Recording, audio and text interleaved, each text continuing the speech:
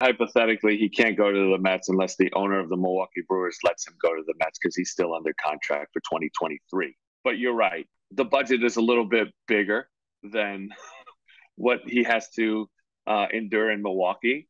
And you've seen what he's done in Milwaukee with bringing players in and the analytical information that he has at his disposal with the platform that they have.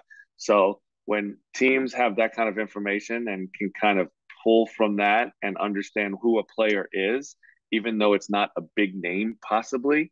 Obviously, Rowdy Tellez is a great example of that. He was in Toronto's organization. He played a little bit the year we traded for him, but the next year, this year, I heard that he really blossomed into a professional hitter and was super consistent in what he did and put out some serious numbers.